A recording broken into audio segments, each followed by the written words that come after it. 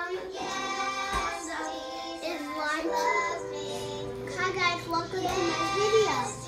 Today, I'm making a smoothie for, for mommy and she doesn't know how to taste this.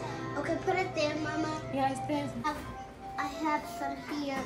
Bananas, apples, strawberries, ice cream, milk, brown sugar, and I'm put them all together.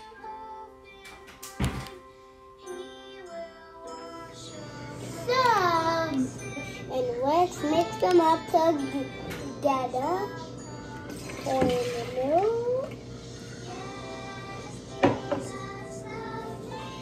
Then ice cream.